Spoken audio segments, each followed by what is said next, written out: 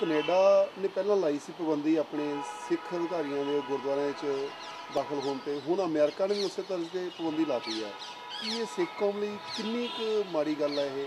ਨਿੰਦਣਯੋਗ ਗੱਲ ਹੈ ਕੈਨੇਡਾ ਤੇ ਅਮਰੀਕਾ ਲਈ। ਬਾਬਰ ਜੀ, ਇਹ ਜਿਹੜਾ ਮਾਮਲਾ ਹੈ, ਇਹ ਆਪਣੇ ਆਪ ਵਿੱਚ ਬੜੀ ਡੂੰਘਾਈ ਦੀ ਸੋਚ ਦੀ ਮੰਗ ਕਰਦਾ ਹੈ।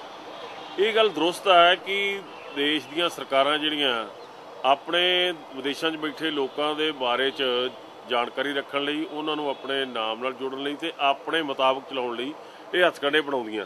ਤੇ ਵਿਸ਼ੇਸ਼ ਕਰਕੇ ਜਿਹੜੀ ਹਿੰਦੁਸਤਾਨ ਦੀ ਸਰਕਾਰ ਹੈ, ਕਿਉਂਕਿ ਸਿੱਖਾਂ ਨੇ ਦੁਨੀਆ ਦੇ ਅੰਦਰ ਵੱਖ-ਵੱਖ ਦੇਸ਼ਾਂ ਅੰਦਰ ਜਾ ਕੇ ਆਪਣੀ ਜਗ੍ਹਾ ਬਣਾਈ ਆ ਤੇ ਆ ਰਾਜਨੀਤਿਕ ਤੌਰ ਤੇ ਵੀ ਆਪਣੇ ਆਪ ਨੂੰ ਮਜ਼ਬੂਤ ਕੀਤਾ। ਜਿਹਦੇ ਵਿੱਚ ਮੋਹਰੀ ਤੌਰ ਤੇ ਕੈਨੇਡਾ, ਫਿਰ ਇੰਗਲੈਂਡ ਹੈ ਅਮਰੀਕਾ ਵਾ। ਸੋ ਇਹ ਗੱਲ ਪੱਕੀ ਆ ਕਿ ਉੱਥੋਂ ਦੇ ਸਾਡੇ ਗੁਰਦੁਆਰੇ ਸਾਹਿਬਾਨ ਆ ਜਿਹੜੇ ਕੇਂਦਰ ਨੇ ਸਿੱਖਾਂ ਦੇ, ਸਰਗਰਮੀ ਦੇ। ਉੱਥੇ ਉਹਦੇ ਸਿਸਟਮ ਦੇ ਵਿੱਚ ਦਖਲ ਜ਼ਰੂਰ ਦੇ ਰਹੀ ਆ। ਤੇ ਇਹਦੇ ਵਿੱਚ ਇਹ ਕਹਿਣਾ ਅਤਕਥਨੀ ਨਹੀਂ ਹੋਵੇਗਾ, ਇਸ ਗੱਲ ਲਈ ਸਿੱਖਾਂ ਨੂੰ ਚਿੰਤਾ ਵੀ ਆ ਤੇ ਸਿੱਖ ਇਸ ਗੱਲੋਂ ਪਰੇਸ਼ਾਨ ਵੀ ਆ। ਪਰ ਇੱਕ ਗੱਲ ਜਿਹੜੀ ਆਪ ਸਾਨੂੰ ਦੇਖਣੀ ਚਾਹੀਦੀ ਹੈ ਕਿ ਇਸ ਮਾਮਲੇ ਦੇ ਮੱਦ- ਮੱਦੇਨਜ਼ਰ ਜੇ ਹਿੰਦੁਸਤਾਨ ਦੇ ਅਧਿਕਾਰੀ ਸਿੱਖਾਂ ਦੇ ਧਾਰਮਿਕ ਸਥਾਨਾਂ ਦੀਆਂ ਕਮੇਟੀਆਂ ਵਿੱਚ ਦਖਲ ਦਿੰਦੇ ਆ ਉਹ ਮੰਦਭਾਗਾ ਵਾ, ਉਹਨੂੰ ਇਸ ਗੱਲ ਤੋਂ ਬਚਣ ਦੀ ਲੋੜ ਆ, ਪਰ ਇਹਦਾ ਮਤਲਬ ਇਹ ਨਹੀਂ ਵੀ ਆਪਾਂ ਸਾਰੇ ਅਸੀਂ ਸ਼੍ਰੋਮਣੀ ਗੁਰਦੁਆਰਾ ਪ੍ਰਬੰਧਕ ਕਮੇਟੀ ਵੱਲੋਂ ਸਿਨਮਰ ਬੇਨਤੀ ਕੀਤੀ ਸੀ ਕਿ ਜਿਹੜਾ ਮੁੱਦਾ ਗੁਰਦੁਆਰਾ ਸਾਹਿਬ ਅੰਦਰ ਆਉਣ ਦਾ ਬੈਨ ਸ਼ਬਦ ਹੈ ਉਹ ਹਟਾਇਆ ਜਾਵੇ। ਉਹਦੀ ਥਾਂ ਤੇ ਇਹ ਗੱਲ ਕਹੀ ਜਾਵੇ ਕਿ ਅਸੀਂ ਹਿੰਦੁਸਤਾਨ ਦੇ ਸਰਕਾਰੀ ਸਿਸਟਮ ਨੂੰ, ਸਰਕਾਰੀ ਤੰਤਰ ਨੂੰ ਗੁਰਦੁਆਰਾ ਸਾਹਿਬਾਨ ਦੇ ਕੰਮਕਾਜ ਦੇ ਵਿੱਚ ਦਖਲ ਨਹੀਂ ਦੇਣ ਦੇਵਾਂਗੇ।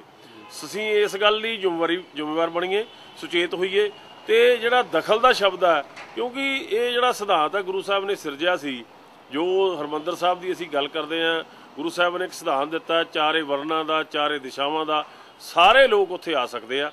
ਉਹ ਕੋਈ ਵੀ ਭਾਵੇਂ ਕਿਉਂ ਨਾ ਹੋਵੇ, ਗੁਰੂ ਦੇ ਘਰ ਆਉਣ ਦੀ ਖੁੱਲ੍ਹ ਹੋਣੀ ਚਾਹੀਦੀ ਆ।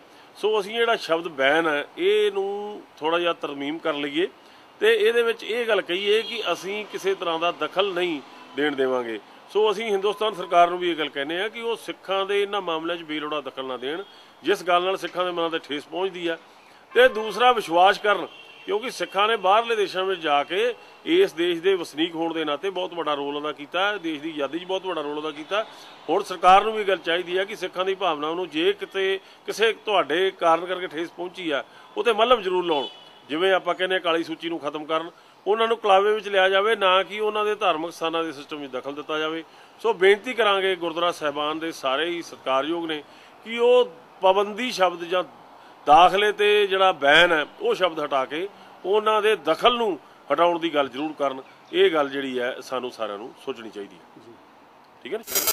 ਉਹ ਸ਼ਬਦ ਹਟਾ ਕੇ ਉਹਨਾਂ ਦੇ ਦਖਲ ਨੂੰ ਹਟਾਉਣ ਦੀ ਗੱਲ ਜ਼ਰੂਰ